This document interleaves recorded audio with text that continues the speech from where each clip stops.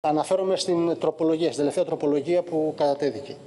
Πρόκειται για παράδεκτη διαδικασία. Εδώ δεν έχεις να κάνεις με αρχή καλής νομοθέτησης, έχεις να κάνεις με αρχή ευνηδιαστική νομοθέτησης.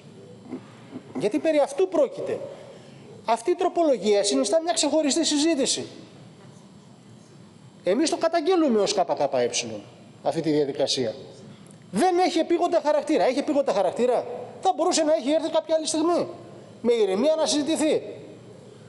Εμείς απέχουμε από αυτή τη διαδικασία συζήτησης για τη συγκεκριμένη τροπολογία και την καταψηφίζουμε. Τώρα, σε σχέση με τις υπόλοιπες, α, πριν πάω στις υπόλοιπες, να πω το εξής. Είναι μια συνήθιση διαδικασία, ακολουθείται από όλες τις κυβερνήσεις, είναι θέμα που αφορά και τον, την διάσκεψη των Προέδρων. Και πρέπει να λυθεί κάποια στιγμή. Έρχονται τροπολογίες που έχουν μέσα 7, 8, 9 άρθρα, μπορεί να έχουν και 15 κάποια στιγμή, δεν λέω σήμερα δεν υπάρχει τέτοια τροπολογία με 15 άρθρα, που συνιστούν και ξεχωριστά νομοσχέδια το καθένα από αυτά. Μέσα εκεί λοιπόν υπάρχουν άρθρα που εμείς μπορούμε να συμφωνήσουμε, υπάρχουν άρθρα που θα διαφωνήσουμε, υπάρχουν άρθρα που θα πούμε παρόν, αλλά σε τελική ανάλυση ενσωματώνονται αυτές οι τροπολογίες ως άρθρα, ξεχωριστά άρθρα στο σύνολό τους μέσα στο νομοσχέδιο. Και είμαστε αναγκασμένοι δηλαδή να, να, να πούμε για το σύνολο μιας τροπολογίας, ενώ μπορούμε ξεχωριστά να αναφερθούμε για το κάθε άρθρο χωριστά. Αυτό το λέω διότι πολλές φορές υπάρχει παρεξήγηση και θέλουμε να είμαστε καθαροί. Τώρα, σε σχέση με την τροπολογία 871 γενικό αριθμό και 149 ειδικό, την καταψηφίζουμε. Βαραίνει προφανώς περισσότερο ε, το άρθρο 4, το άρθρο 5 που πρόκειται για διατάξεις που απαλλάσσει από φόρους μεγάλες επιχειρήσεις και διευκολύνει και τις διαδικασίες συγχωνεύσεων αυτών των επιχειρήσεων. Βαρύνει επίσης ε, το άρθρο 6 που αφορά το πρόγραμμα Γέφυρα. Είπαμε και στην πρωτολογία ότι εξυπηρετεί τις τράπεζες και τη ρευστότητά τους. Ε, έχουμε αναδείξει ως ΚΚΕ συγκεκριμένες προτάσεις ε, για τους αυτοαπασχολούμενους, τους μικρούς επαγγελματίες όπως το κούρεμα τόκων, επιτοκίων, πανωτοκίων αλλά και του 30% της οφειλής την οποία έχουν για όσους έχουν εισοδήματα μέχρι 12.000 ευρώ. Σε σχέση με την ε, τροπολογία με γενικό 872 και ειδικό 150 που αφορά την ανασύσταση γενικού προξενείου στη Βενγάση της Λιβύης. Θα συμφωνήσουμε με τη συγκεκριμένη τροπολογία. Οφείλει όμως, επιτρέψτε μου, οφείλει η κυβέρνηση να πράξει το ίδιο ανοίγοντας την ελληνική πρεσβεία στη Δαμασκό και να επαναλειτουργήσει η Συριακή πρεσβεία στην Αθήνα. Τελεία.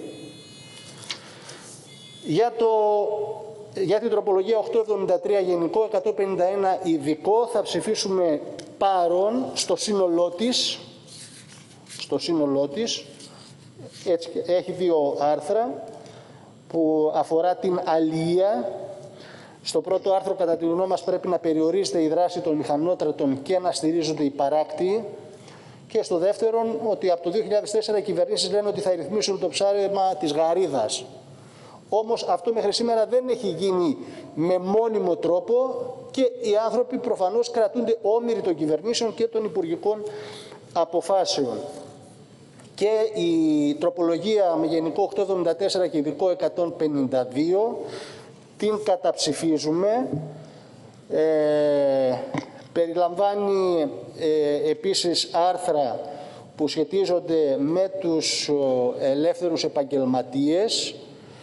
Ε, στο πρώτο άρθρο ε, μειώνουν την προκαταβολή φόρου εισοδήματος από επιχειρηματική δραστηριότητα για φυσικά πρόσωπα στο 55% για το φόρο που αναλογεί στο διανυόμενο φορολογικό έτος.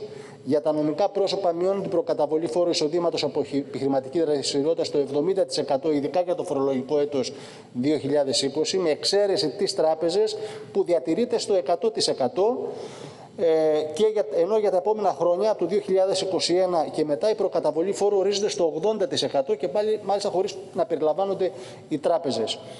Η προκαταβολή φόρου για τα φυσικά πρόσωπα είναι μνημονιακός και εξορισμού άδικος νόμος, αφού φορολογεί εκ των προτέρων εισοδήματα που μπορεί να μην εισπραχτούν.